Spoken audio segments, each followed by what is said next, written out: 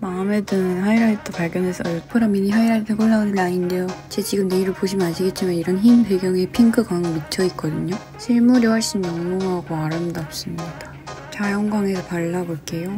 제가 지금 손톱 연장을 해가지고 그나마 짧은 엄지로 해보 보이시나요? 저 은은한 핑크 광택. 모양새는 이상하지만 발리나오면 되잖아요. 짠! 화장할 때마다 너무 예뻐서 눈 앞머리 코끝에 발라줘도 너무 예뻐. 광대에 발랐을 때 블러셔의 매력 확산 느낌. 자연광에서 보면 이렇게 쿨한 핑크광이 싹 돌아요. 어떤가요? 완전 추천합니다. 음.